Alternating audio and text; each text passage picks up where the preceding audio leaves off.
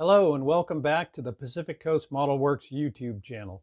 Hey, if you watched my last video about Tinkercad, you saw me use an SVG file to create a textured pattern which I then impressed into a wall.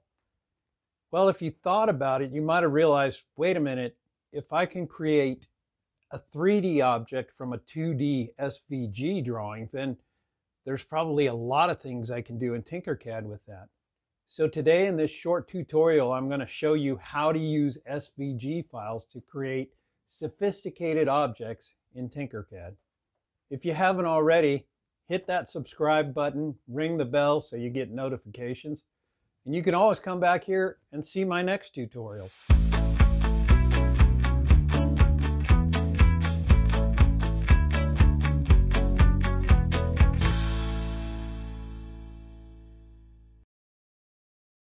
We'll begin the tutorial in Inkscape with a blank document. I'm going to select the Bezier tool and holding the control key down to keep the lines orthogonal. Just going to create an arbitrary shape here. Nothing particular, but maybe a part for a machine or something like that. We'll go to the Fill and Stroke tab, select Stroke Style, and set the width to 1 millimeter.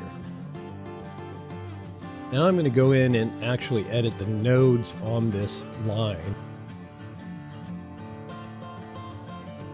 by adding nodes to either side of the corners and then deleting the corners. Again, holding the control key, I'll adjust the Bezier curves to be a nice, gentle curve. I'll do that again down here on this corner.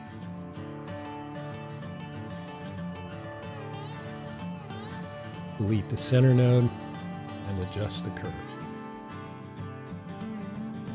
Alright, once I have it looking the way I want it, I'll go use the select tool.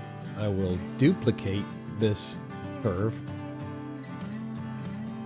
And then I will flip it horizontally, the duplicate, and drag it to where it joins up with the original curve.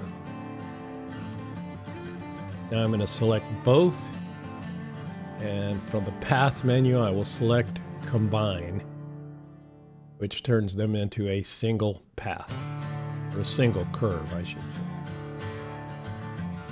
Now I'm going to go ahead and duplicate this again. Holding the control key, I'm going to drag it down and I'm going to set the width of the stroke to 4 millimeters.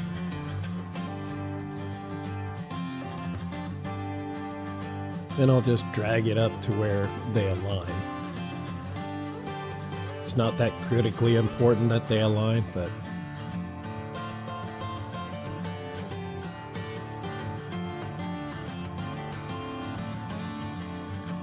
Now the next thing I need to do is select both of them and from the path menu choose stroke to path, which changes them from strokes to, you might have guessed it, paths.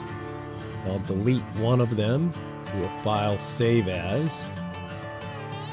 and save to SVG. I use the same file over and over and just replace it as I'm exporting parts.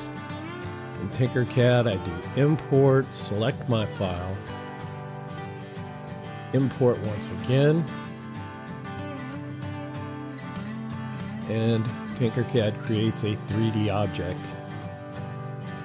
from my SVG. Now I'll go ahead and undo the delete I had just done previously. I'll select the other object, which is the thinner of the two, and I'll delete that one.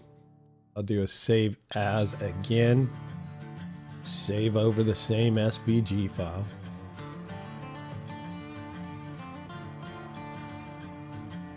Go back into Tinkercad and import once again. Use my file once again. Import.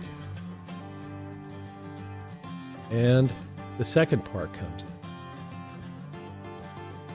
Now I'm going to make a few adjustments to the two parts. I'm going to stretch this one down to where it's one millimeter thick. I'll set this one at three millimeters thick. Now I'm going to select them both and choose the alignment tool. I'm going to align the tops and the centers here. Now I'm going to go ahead and group them together.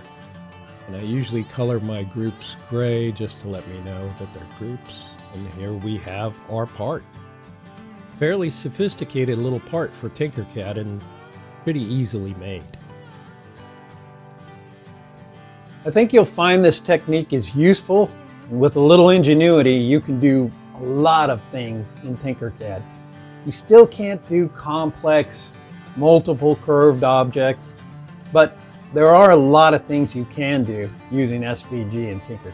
Until the next video, this is Scott Ford saying, happy modeling, friends.